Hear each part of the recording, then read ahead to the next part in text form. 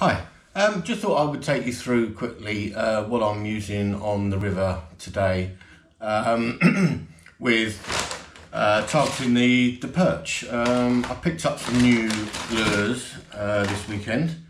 Um, we're targeting um, a stretch of the Kennet. Um, it's, it's not in flood, but it's still quite up and coloured. So I'm going to try a couple of different things.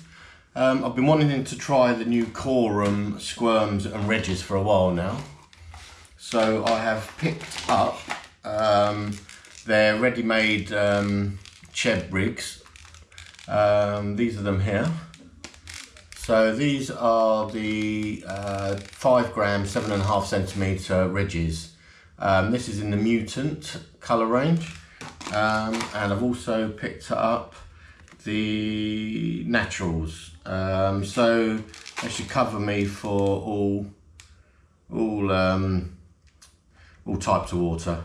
Uh, really looking forward to trying these. These are these are floating lures. So basically they're held on the bottom by the weight and then they stand up and they float around um, in the current. So very, very attractive to perch.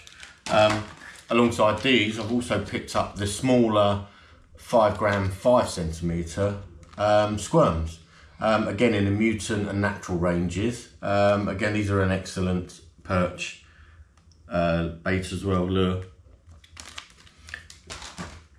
What I'm also going to try, because the water's quite coloured, is I've picked up some of the Savage Gear um, glass rattle beads to insert into the, the soft lures, just to give it a bit of extra attraction in the coloured water.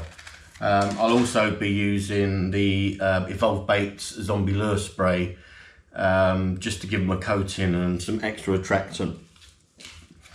I've also, if those slightly larger baits aren't, um, aren't working and I need to finesse a bit, I've also picked up the Fox Micro Fries. Um, I've got the two different packs. I've got the Spikey Shads, um, which have served me really well in the larger size.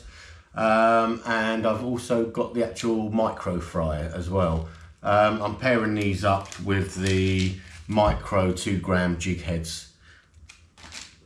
Um, I also picked up a few very light um, wire spin traces as well. Um, as there's quite a few jacks along the stretch um, and I just want to make sure that um, I'm covered just in case I, I, hook into one of them. Um, so what I'll uh, I'll um, see you again on the bank and hopefully I'll uh, be catching something on these new lures. So thanks a lot.